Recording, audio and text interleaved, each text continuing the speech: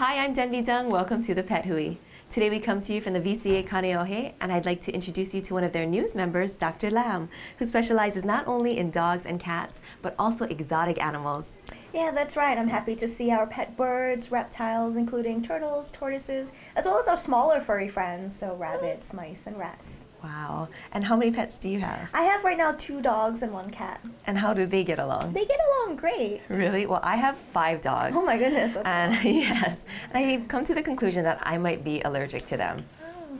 I had always wondered if Chihuahuas were hypoallergenic dogs. So to find out, I went to Dr. Kam, head of allergy and asthma at Straub Hospital. This is Sean, my buddy, who's a Bichon Frise. And I've heard some terms that they say Sean is a hypoallergenic dog. And I kind of disagree with that terminology. Uh, if you have a dog allergy, you can be allergic to any dog. And I'd hate for someone to be told that this dog is a hypoallergenic dog and go purchase him and find out that they're having some bad allergies and have to get rid of him.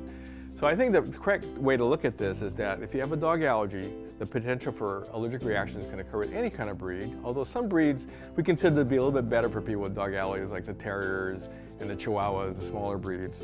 But in any case, I think um, you need to determine whether you're actually allergic to the dog with like skin testing and blood testing and get on the right medications if you do have a dog or allergy shots.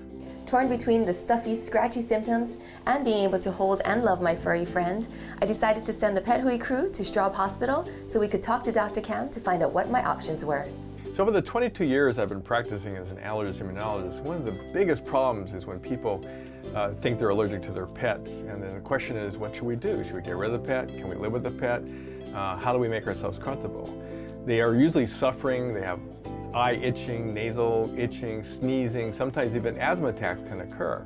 The first thing I mention to them is let's determine is it really your cat or dog or pet that's causing your problem.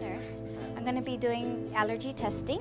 So what it is is I'm going to be doing two controls, a histamine, saline, and then I'm going to be testing you for dog. Right now we're testing uh, Micah for dog allergy. He uh, is being pricked with three different things, dog extract and what we call two controls. One of the controls is histamine, which is the allergic substance. So he should get a very large mosquito bite-like bump with the histamine. The negative control is saline, which is salt water, and that should be negative. So hopefully we'll see a bump with the histamine, and if he has a dog allergy, a bump with the dog, and a negative saline. Okay, Mike, it's been 20 minutes. Getting itchy here? All right, so we can see here that the histamine control is a nice positive.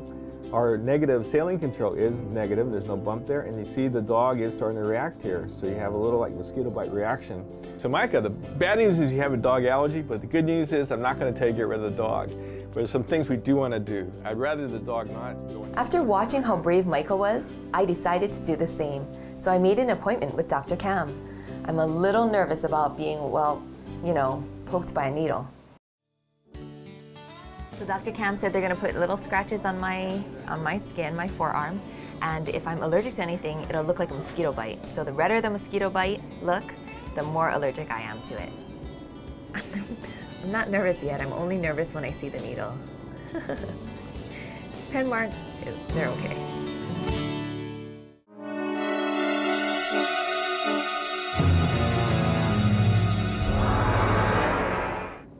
That's it? Yes.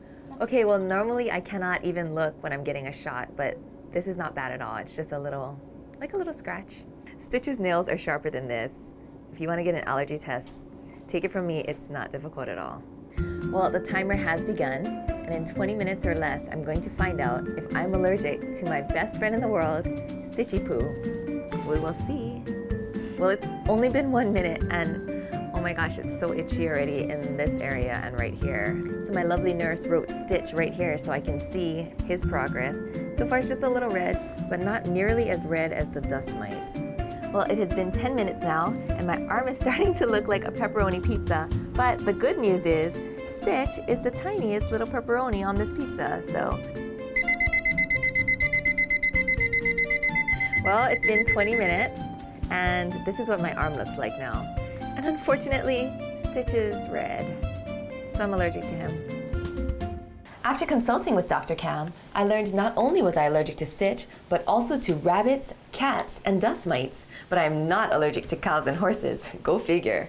Here's the advice he gave me. Once we determine that you are allergic to your pet, then we can either institute medications to block the allergies. Some people even go with allergy shots to desensitize themselves with the pets. Other things that we really recommend, rather than getting rid of the pet, is environmental controls. So things like washing the, the dog or the cat weekly helps. Uh, use of air purifiers, HEPA filters, HEPA filters is also very, very important. And one of the first things I try to make the, the person do is to not let the pet sleep on their bed, if anything. Try to keep it out of the bedroom at least, if possible. And uh, then there's always medications that can be taken to help, uh, such as the antihistamines you get over the counter. Uh, prescription medications usually work better, but you have to see your doctor for them. And for our cat lovers, you too are in the same boat.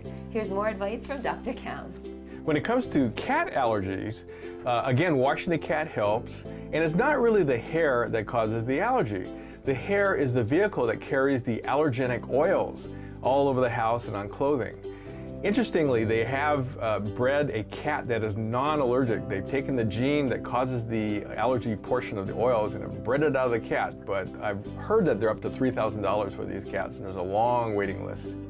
Well, thanks to Dr. Kam, I'm now on my journey to living more comfortably with my buddy Stitch here. If you think you might be allergic to your pet, we think you should do the same.